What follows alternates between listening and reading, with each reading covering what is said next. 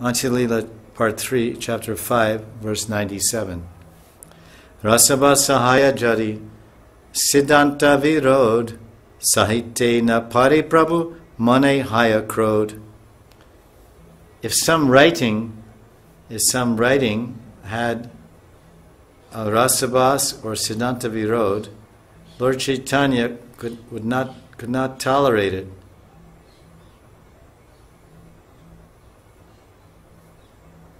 And his mind would become very angry. It says Sahitena Pare Prabhu, that Mahaprabhu, that uh, Mahaprabhu Sahitena Pari means he couldn't tolerate what something that was rasabas means against the rasa, conflicting rasas against the proper rasa, improper mix, improper mixture of rasas and feelings and bhavas, or siddhanta virud. Virod, virod means against, against siddhanta. Opposite, we say apasiddhanta, against.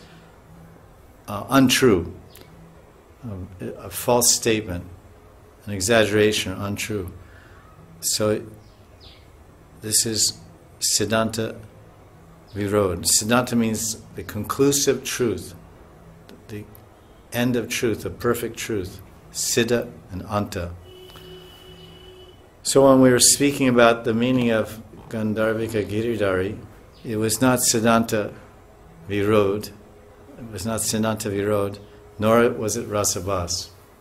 So therefore, although it's my idea or what I have uh, spoken based on my studies, it's acceptable, although we may not quote it and say, well, so and so said, because our, I'm not the Supreme Court. Say, oh, he said that's his idea.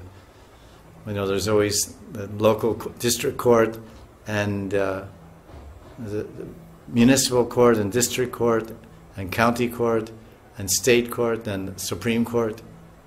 So the Supreme Court is the Shastra Praman, Shrimad Bhagavatam Puranam Amalam. This is the supreme Puran, the Shrimad Bhagavatam. So the Shrutis and the Upanishads and the Bhagavatam, Mahabharata, Ramayana, these are the the Praman, Shastra Praman, scriptures. And then the six Goswamis, six Goswamis, Narottam, Baladev, Vidyabhushan, Vishwanath. These are the uh, Krishnadas Kaviraj. This is the Supreme Court. That's the, the, the, ultimate best authority there. But if someone is in line properly and speaking Harikatha, it's not maybe exactly a verse or a shloka, but it's according to the Siddhanta and proper rasas described in these pramans or these shastric authorities then it's acceptable and it's valuable for our devotion.